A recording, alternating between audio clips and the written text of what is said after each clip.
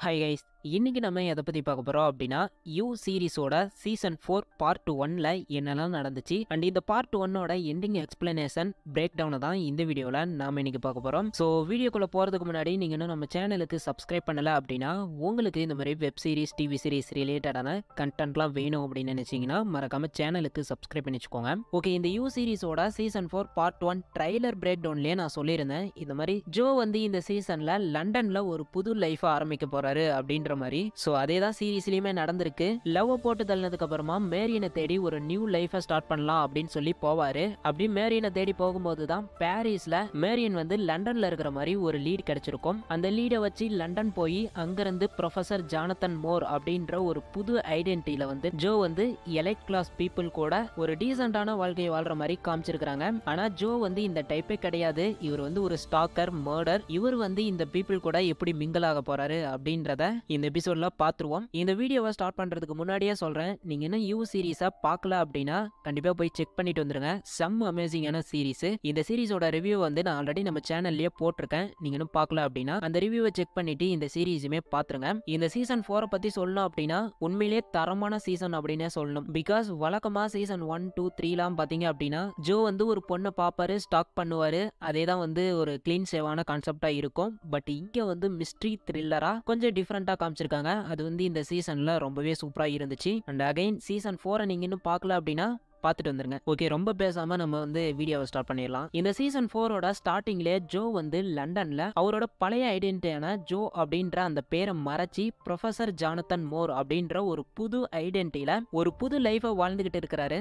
எதுக்காக இவரோட ஐடென்டிட்டியான ஜோ அப்படின்ற அந்த பேரை மறைச்சி ப்ரொஃபசர் ஜானத்தன் மோர் அப்படின்ற ஒரு புது ஐடென்டிட்டியில இங்க வாழ்ந்துட்டு இருக்கிறாரு அப்படின்னா போன சீசனோட எண்டிங்ல வந்து இவரோட டெத்துக்கு லவ் குயினா ஃப்ரேம் பண்ணிட்டு இவரோட குழந்தையுமே பக்கத்து வீட்டுல விட்டுட்டு மேரியனை தேடி யூரோப் வரைக்கும் வந்திருப்பாரு. ஜோ என்ன நினைச்சிருப்பாரு அப்படின்னா மேரியன் கூட சேர்ந்து ஒரு புது லைஃபை ஸ்டார்ட் பண்ணலாம் அப்படின்னு சொல்லி தான் வந்திருந்திருப்பாரு. ஆனா ஆல்ரெடி லவ்கின் வந்து ஜோவை பத்தின உண்மைகள் எல்லாம் சொன்னதுனால மேரியன் வந்து ரொம்பவே பயந்து ஜோவுக்கு பயந்து தான் ஓடிட்டு இருந்திருப்பாங்க. ஜோ வந்து பாரிஸ்ல மேரியனோட ஒரு ஆர்ட்டை பார்த்து மேரியன் வந்து லண்டன்ல தான் இருக்கிறா அப்படின்னு தெரிஞ்சுக்கிட்டு லண்டன் போய் மேரியனுமே மீட் பண்ணிடுறாரு. இந்த இடத்துல மேரியன் வந்து ஜோவுக்கு ரொம்பவே பயந்து என்னை விட்டுடு அப்படின்னு சொல்லி ரொம்பவே வெறுப்பா பேசுவாங்க.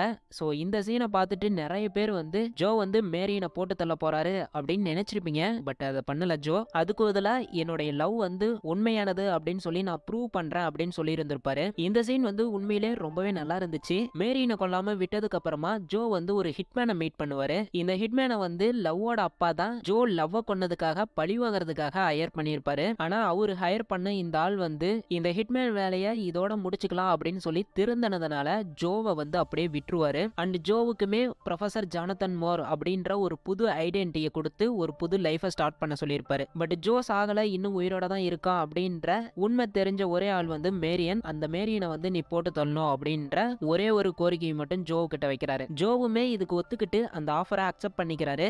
பட் ஆனா மேரியனை வந்து கொல்ல மாட்டாரு. பிகாஸ் இதுக்கு முன்னாடி தான் மேரியனை கொல்லாம நான் உனக்கு வந்து என்னுடைய லவ்வை ப்ரூவ் பண்ணி காட்டுறேன் அப்படின்னு சொல்லி போக விட்டுருப்பாரு. அதனால மேரியனோட ஒரு செயினை மட்டும் அவங்களுக்கே தெரியாம எடுத்து இந்த மாதிரி மேரியனை போட்டு தள்ளிட்டதா? அந்த ஹிட்மேனுக்கு ஒரு போட்டோவை அனுப்பிச்சு விட்றாரு. எனக்கு தெரிஞ்சு பார்ட் டூல மேரியன் வந்து ஜோ புரிஞ்சுக்கிட்டு ஜோ கிட்ட வரதுக்கு நிறையவே வாய்ப்பு இருக்கு. பிகாஸ் அதுதான் இந்த பார்ட் ஒன்ல ஒரு மெயின் ஃபோக்கஸா இருக்கும். ஜோ வந்து அவர் பழைய ஜோ இல்ல அப்படின்றத ப்ரூவ் பண்ணுவாரு. வழக்கமா பாத்தீங்க அப்படின்னா ஜோ தான் மத்தவங்கள ஸ்டாக் பண்ணுவாரு.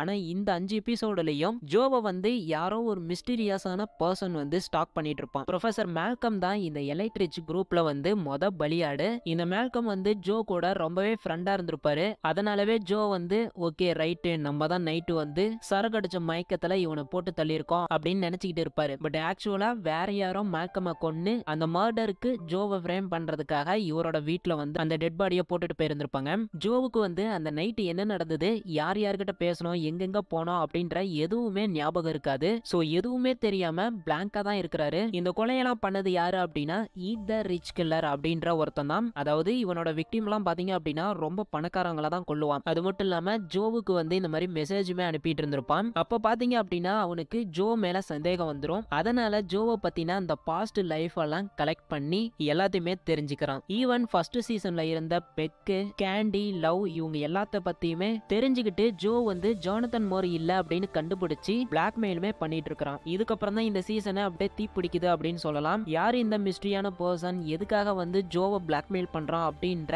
அந்த மர்டர் கெமிஸ்ட்ரி வந்து ரொம்பவே சூப்பராக இருந்தது. மேல்கமுக்கு அடுத்தது ரெண்டாவதாக கொல்லப்பட்டது வந்து சைமன் அதுக்கப்புறம் பார்த்தீங்க அப்படின்னா ஜெம்மா அதுக்கப்புறம் அடுத்த விக்டிம் வந்து கேட்டுதான் அப்படின்னு ஜோ நினைப்பாரு. பிகாஸ் அந்த கில்லர் வந்து டெக்ஸ்ட் மெசேஜில் கேட்டை பற்றி அதிகமாக பேசிக்கிட்டு இருப்பான். அதனால் கேட்டை காப்பாற்றணும் அப்படின்ற முயற்சியில் வந்து ஜோ வந்து கேட்டு கூட ரொம்பவே க்ளோஸ் ஆகுறாரு அப்படின்னு தான் சொல்லணும். எந்த அளவுக்கு அப்படின்னா கேட்டு தான் வந்து ஜோவோட அடுத்த யூ அப்படின்ற மாதிரி. லிட்ரலி ஜோ வந்து கேட்டை காப்பாத்துறதுக்கு ரொம்பவே ரிஸ்க் எடுத்திருந்திருப்பாரு. இதனால் பார்த்தீங்க அப்படின்னா அந்த எலைட் கூமுட்டைகள்லாம் ஜோ தான் கில்லர் அப்படின்னு நினைச்சு சில கடுப்பேத்துற வேலைகள்லாம் பண்ணிட்டு இருப்பாங்க. அதுல ஒருத்தன் ஜோவை துப்பாக்கி எடுத்துக்கிட்டு காட்டுல துரத்திக்கிட்டே போயிட்டு இருந்திருப்பான். பட் கடைசீட்ல வந்து அந்த ஈட் த ரிச் கில்லர் அப்படின்றவன் இவங்க ரெண்டு பேர்த்தையுமே ஒரு டஞ்சனுக்குள்ள போட்டு அடைச்சு வச்சிடறான். ஸோ இப்பதான் நமக்கு தெரியுது இந்த ஈட் த ரிச் கில்லர் யாரு அப்படின்னு. இந்த எலைட் கூட்டத்துக்குள்ளேயே இருந்த ரீஸ் அப்படின்ற இவன் தான். இந்த கேரக்டரை ஆரம்பத்துல பார்த்தது பயபுல பாதியில இருந்து காணாம போய் இந்த வேலைகள்லாம் பண்ணிட்டு இருந்திருக்குது. இந்த ரீஸ் வந்து ஒரு சாதாரண ஏழையா இருந்து பணக்காரனான ஒருத்தன். இவனோட புக்கு மூலயமா தான் இவனுக்கு வந்து ஹியூஜ் சக்சஸ் கிடைச்சிருக்கும். இந்த ரீஸ் தான் இது வரைக்கும் ஜோவுக்கு இந்த மெசேஜ் எல்லாம் அனுப்பிட்டு இருந்தது பிளாக்மெயில் பண்ணது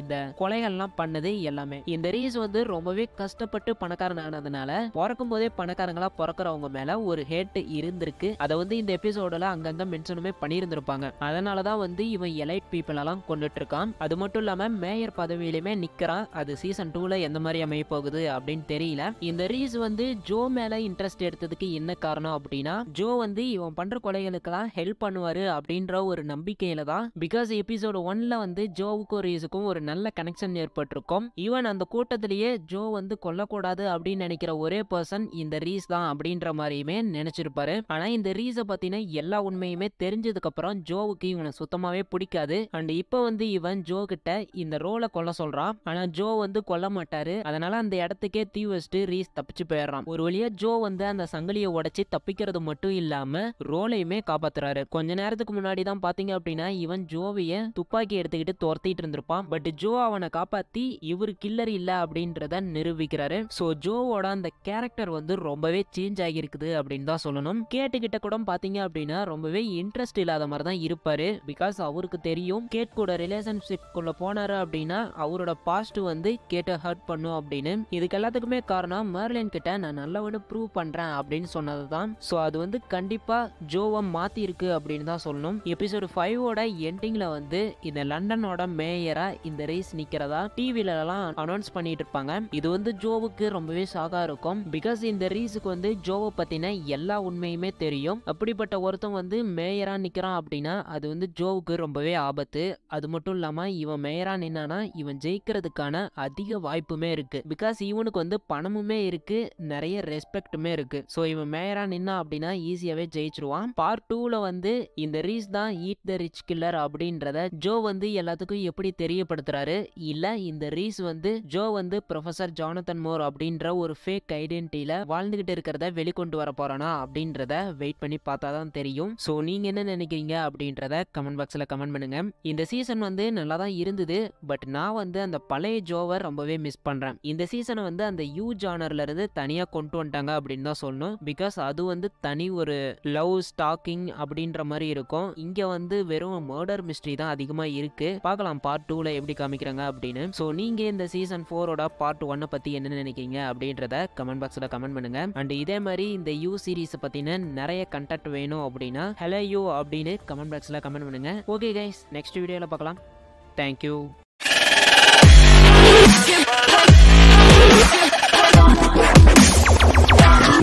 Yeah.